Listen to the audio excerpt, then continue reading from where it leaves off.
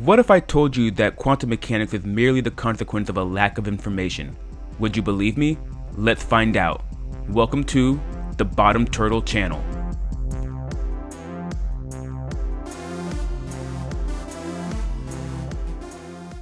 Hello everybody, welcome back to the channel. I'm theoretical physicist Dr. Shannon Ray, and I want to start this video by thanking everybody for their comments and subscribing and liking our, my last video. The video did surprisingly well beyond what I expected. We got over 5,000 views, which is great for a small channel like mine. We got over 300 new subscribers, which is really phenomenal and I got a lot of really strong words of encouragement in the comments and a lot of interest in the ideas that I shared. So this is all very encouraging because I truly believe that sharing these ideas and communicating them to you guys is the most important thing I should be doing right now.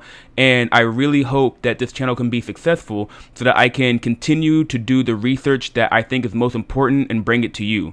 So remember, every time you like a video, subscribe to the channel, make a comment or share it with a friend, you are essentially donating to my research fund so that I can become a independent researcher and continue to bring these ideas to you guys. So please don't forget to do that and every donation counts and I really appreciate the help.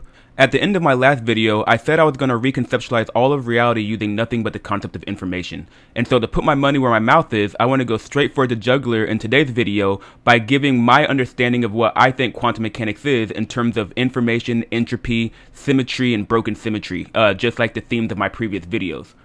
And so to do that, I want to frame this video in the context of the paper Quantum Mechanics as Quantum Information Mostly by Christopher Fuchs, who is a professor at the University of Massachusetts, Boston. And the purpose of this paper is to challenge the physics community to come up with a very simple principle that is intuitive and physically motivated that explains why we use the mathematics that we use in quantum physics. And so he likens it to back when Einstein developed his theories of relativity and how the mathematics of relativity existed pre Einstein. But what Einstein's major contribution was, was very simple principles that allowed people to frame these mathematical equations in a way that had very deep consequences and really made a lot of sense. And so that's what I want to do in today's video. I want to address Chris Fuchs by providing what I think is the foundational principle of quantum mechanics that explains why we use the mathematics of quantum mechanics that we use. And essentially, my principle is this. There is no exactness. That is, no physical system has an exact state, which is to say that there isn't infinite information in any physical system. Quantum mechanics is merely the consequence of a lack of information. And as you all know who've been watching the channel, we know that a lack of information implies entropy, and we know that entropy implies symmetry. So what this does is it directly connects the lack of information to symmetry, and when you look at quantum mechanics and the mathematics of quantum mechanics, you'll notice that it's all based on symmetry. And so with that, let's get into it.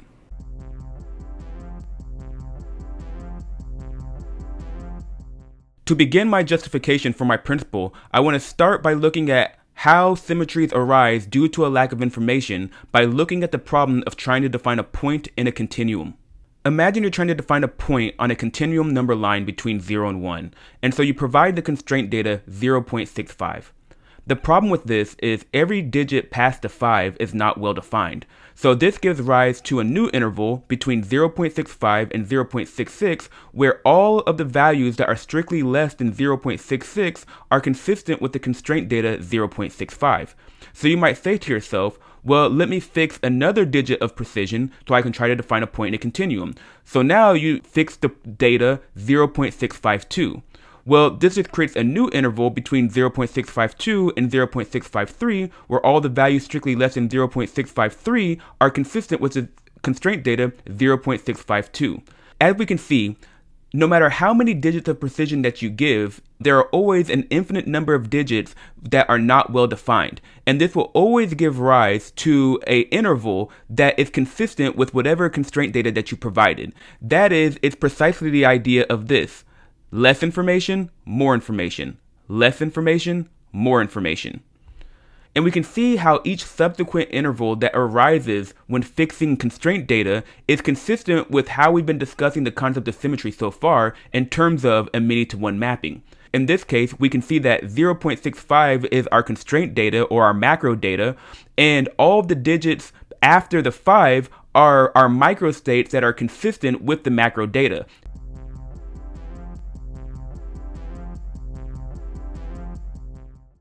What this example shows is that in a continuum there are no points, there are only sets. Sets of things that are consistent with the provided constraint data and sets of things that are not consistent with the constraint data. The things that are consistent with the constraint data are associated with a symmetry and these are due to a lack of information. And when you give more digits of precision, the size of the symmetry just keeps getting smaller, which is consistent with analyzing the system at smaller scales. You're essentially constantly zooming in, trying to chase down a lack of resolution in an infinite regression.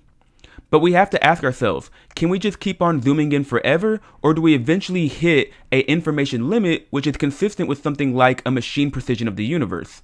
After all, information has to be stored in physical energy and matter. Therefore, infinite information would require infinite energy and matter. So instead of assuming infinite energy everywhere, I think it makes more sense to assume something like a machine precision, and beyond that precision, there is nothing but symmetry or the quantum.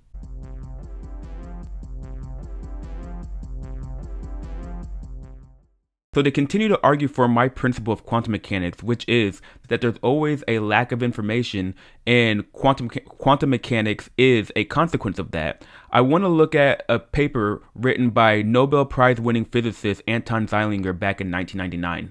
And that paper is called a foundational principle of quantum mechanics, where just like Christopher Fuchs, he was attempting to provide a foundational principle that of quantum mechanics that is similar to that which Einstein provided for his theories of relativity that are intu intuitive and physically motivated that can bring some sort of clarity to this quantum craziness that seems to be confusing scientists for so long. And so Anton Zeilinger's main argument is this. First, he makes the same argument that I've made in the past, which is that the nature of information is the ability to predict the future, by stating that all knowledge we can have about reality are contained within the truth of propositions. We make observations about the object in the past, which then gives us information about that system, which we then can use to make predictions about future outcomes or future measurements of that system. He then introduces the concept of an elementary system, where an elementary system is one that contains the truth of a single proposition. That is, he is looking at the binary as the simplest system that we can imagine. And so from that, he gives the principle that a elementary system only contains one bit of information which is to say that an elementary system can only provide information to predict the outcome of a single measurement. And this is important because in quantum mechanics, the elementary system or the two level system is a qubit. And so given this principle, which is what he's proposing as the foundational principle of quantum mechanics, which is that an elementary system only has one bit of information, he uses it to demonstrate that for a quantum two-level system or a quantum elementary system, there is an irreducible amount of uncertainty associated with it that can't be avoided. So to demonstrate this irreducible uncertainty in measurements in quantum mechanics, Zeilinger looks at the measurement of a qubit. In quantum mechanics, a qubit can be represented by something called the Bloch sphere, which is a sphere where every point on the surface of the sphere is a valid state of a qubit. And so we notice here that we have a z-axis, a y-axis, and an x-axis. And the point associated with the North Pole is associated with the spin of the system being pointed along the positive z-axis. So we say that that is in an eigenstate of the z-axis.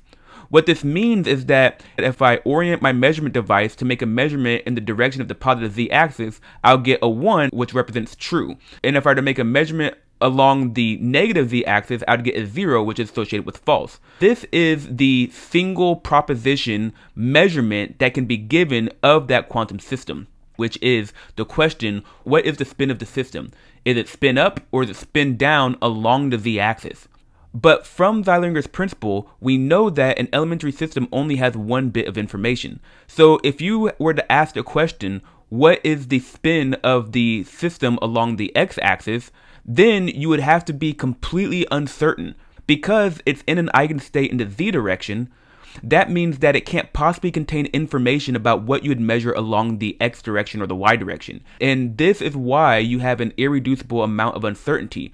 It's because at most it can provide one bit of information which can give you a definite answer along one axis, but because there are multiple axes that you can measure across, it's not possible for this system to give you information in any other direction.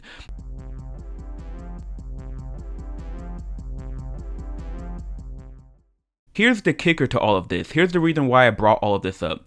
You may be asking yourself, why is it that for a classical system you don't have this problem of an irreducible amount of uncertainty, but for quantum systems you do? Well, the difference is, is that when you go from a classical state to a quantum state, the elementary system is described by a Lie group symmetry, and that Lie group symmetry is SU2. That is what the Bloch sphere represents. The Bloch sphere is a way of visually representing the symmetry group SU2. And so it's because quantum states are inherently described by symmetry groups or associated with symmetry groups that you have this extra level of uncertainty. That's why you have this whole continuum of extra axes along which you can make a measurement, which is the reason why there's the irreducible uncertainty in Zeilinger's example. Essentially, what I've been saying this entire time, remember, is that entropy is ignorance, and entropy implies symmetry. And so, if there is symmetry, then there is ignorance. And so, this seems to be a substantiation of what I've been saying for the past few videos. Uh, remember, at the beginning of Zeilinger's argument, it is the argument that information is the thing that allows us to reduce the uncertainty of a measurement outcome. And so, what I'm saying in my previous section with the point in the continuum is that the symmetry arises due to a lack of information. And what I'm saying is that quantum mechanics is a consequence of that lack of information, and quantum mechanics is associated with symmetry. So if you think about it, this stuff really works together quite well when you associate entropy with symmetry and that arises due to a lack of information because you can't predict the future without information.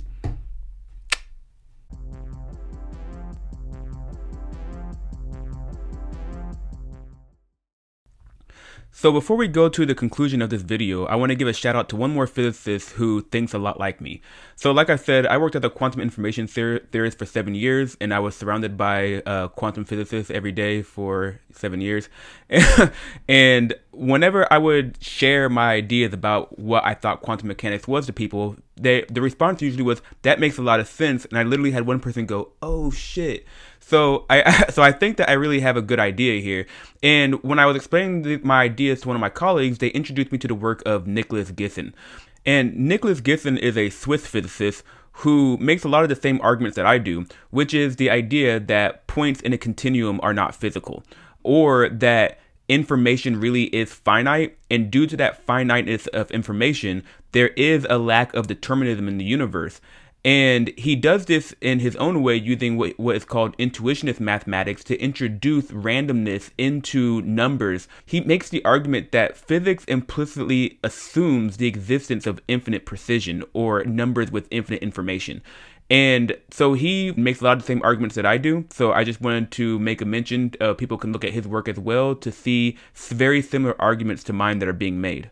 So fundamentally, like Zeilinger and myself, he also seems to work off the idea that uncertainty is an inherent truth of reality that can't be avoided. And like I said, uncertainty is ignorance, ignorance is entropy, and entropy implies symmetry. So that would mean that symmetry is also an undeniable, always present truth of reality.